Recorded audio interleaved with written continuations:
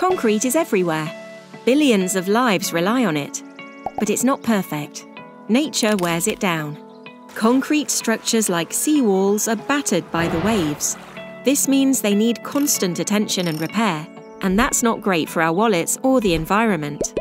So, how can we get the best out of concrete without poisoning the planet or emptying our banks? That's where Sensicrete comes in.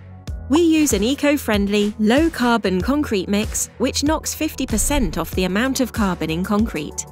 Then we add cutting edge biotechnology, which turns our concrete structures into biowalls, living structures that heal themselves and have a lifespan 30% longer than average.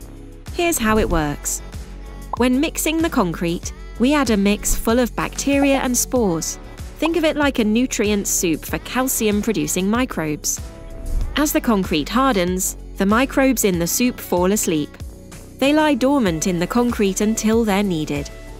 When concrete cracks, air and water seep in. When they feel the breeze and taste the water, the microbes wake up and start reacting.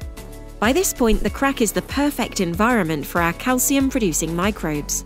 They start multiplying and moving through the crack. Just like coral polyps, our microbes produce strong calcium carbonate crystals as they go.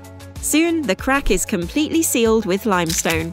The damage is repaired, and the concrete structure remains strong and sturdy, all without any need for human intervention.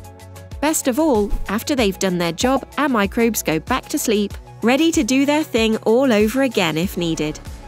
Unleash the benefits of our low carbon bioconcrete and nature based solutions for construction, infrastructure, and marine environments. Find out more by visiting our website jpconcrete.co.uk forward slash Sensicrete.